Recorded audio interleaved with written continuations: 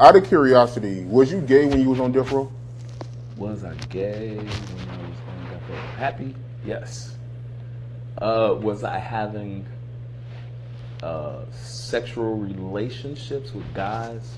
No. Was I doing things with guys that was that would probably be deemed to be uh, gay?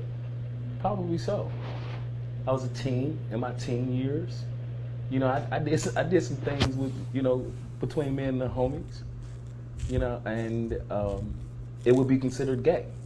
But those guys are straight guys now, and in the relationships, so they say. I mean, but they're in relationships now. So I'm the only one that kind of came out and, and said who I am. So I, it, it's not my job to really expose those people because nobody's exposed me. I, I, ch- I chose to do this on my own.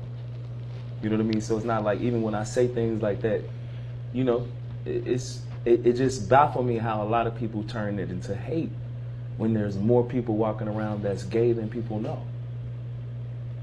Was some of these individuals that you was messing around with, you know, around that time when you was on death row, was they in the industry?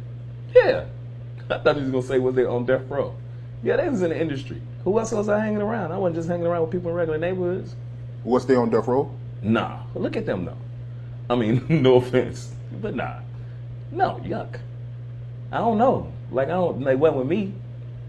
No, that wasn't a thing. It wasn't like an open thing that it, even then.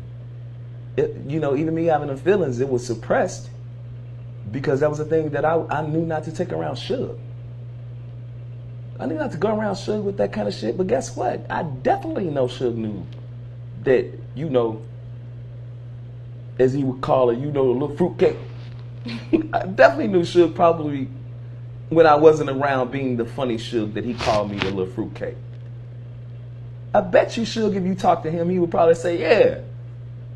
You know, to be real with you, yeah. I thought this a couple times, for, so for sure.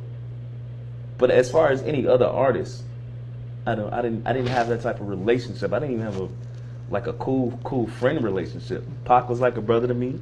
Suge was like a big brother, father to me, and like Snoop and the Dogg Pound. I didn't know them like that. Like we worked and we commingled on the same label, but no. But a couple secretaries and things like that. There was some sweet secretaries around. Everybody around Death Row know who was gay.